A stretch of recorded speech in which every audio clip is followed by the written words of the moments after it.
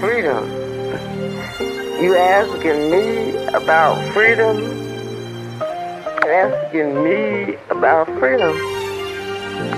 I'll be honest with you.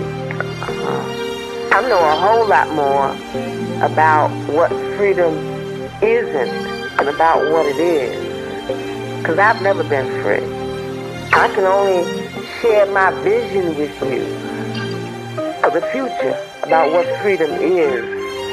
Uh, the way I see it, uh, freedom is, is the right to grow. It's the right to blossom.